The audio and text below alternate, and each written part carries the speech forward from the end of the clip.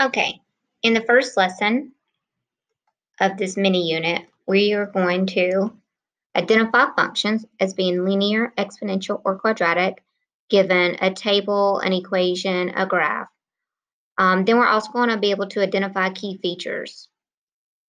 Also part of that is I'm going to be giving you key features and you're going to tell me which function it has to be. Sometimes it may be able to be more than one. So first of all, let's just recall how we are going to decide if this table is linear, quadratic, exponential.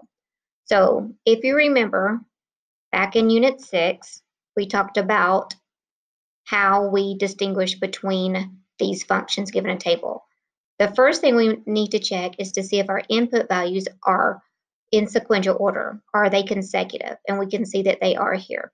So when our input values are in order, from least to greatest, we can always just look at the output values and see what pattern is going on.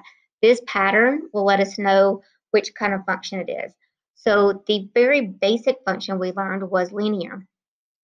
Remember, linear functions have a constant rate of change, which would be your slope. So we're going to ask, how are we getting from 29 to 19 to 11 to 5 to 1? So first of all, always check to see if there's a first difference. So from 29 to 19, it's going down by 10. And then from 19 down to 11 is going down by 8. And then from 11 to 5, we're going down by 6. And then from 5 to 1, we're going down by 4. So we see that this first difference is not constant. So we know it's not linear. So now we check to see the second difference. So that's just the difference between the first differences. So from negative 10 to negative 8 is plus 2.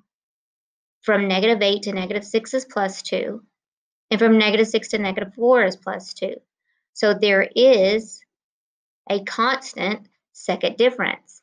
So this means that our this function table is quadratic.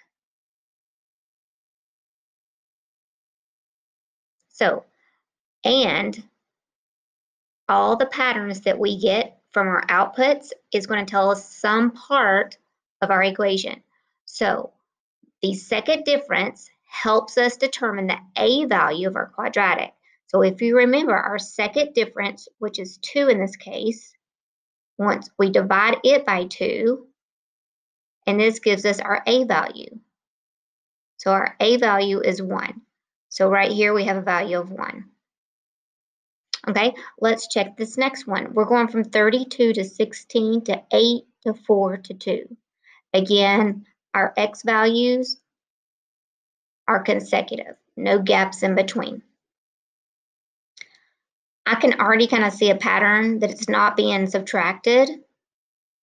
Okay, but I do see a pattern that from 32 to 16, 16 to 8 is going down by one half. So we say that this has a constant ratio of one half. So when we are multiplying our output by a value, a ratio, then we know that's exponential. So this table is exponential. And this number right here, this one half, this is our multiplier. That's the B part. So remember, so our B is one half. This means this is a decay. It's decreasing let me write here, our A was 1 here. Okay, our last function table, again, numbers are going in order. We're going from negative 24 to negative 21. It looks like it is a constant rate, so I'm going up by 3 each time.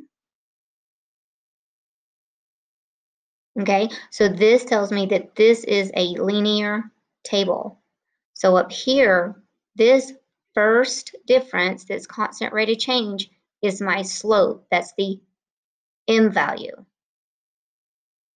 So in summary, when we have a linear function and our x values are consecutive, it will have a constant first difference, which is our m value, our slope.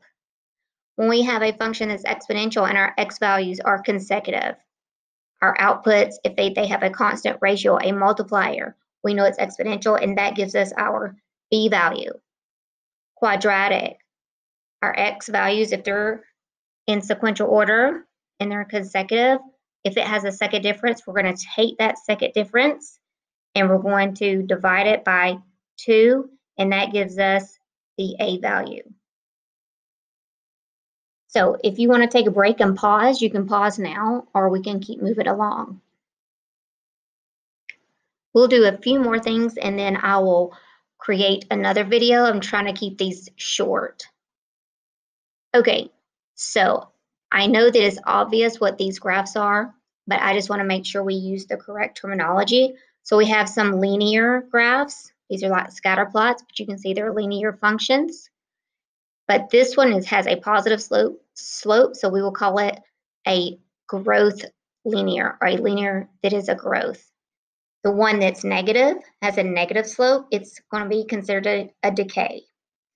Exponential, kind of the same thing. We know this is a growth. That meant our B value was more than one, and it was being multiplied and um, growing exponentially, while our decay, we had a B value to, between zero and one, like one half or one third, and it's being divided, divided, divided, and gets closer and closer to our asymptote. And this is a decay. For the quadratics, we don't use growth or decay to describe, but we just describe the vertex. So here we have a quadratic whose vertex would be a minimum point. This one, we have a vertex that would be a maximum. So on this one, our A value would be negative. On this one, our A value would be positive. Over here on the linear growth, our slope, our M would be positive. Our decay, our slope would be negative. Okay, so we've taken a look at tables to know which function is which, graphs. Now let's look at some equations. So a lot of times you have to kind of evaluate to see exactly what kind of equation. So I am just going to distribute and then combine. I'm going to write it in standard form. And so we can see that this is linear because I have an exponent of 1 and it is a decay. So it's a decay and it's linear. Okay, let's distribute our negative x. So we're going to get negative x squared plus 8x plus 4. That is in standard form. We can see that it's quadratic. And our quadratic turns down. So our vertex would be a maximum. And then here we can see well, there's nothing really to simplify, but I am going to write this in standard form. And we can see it's exponential. And since our B value is between 0 and 1, it is a decay. It's getting, we're, it, we're just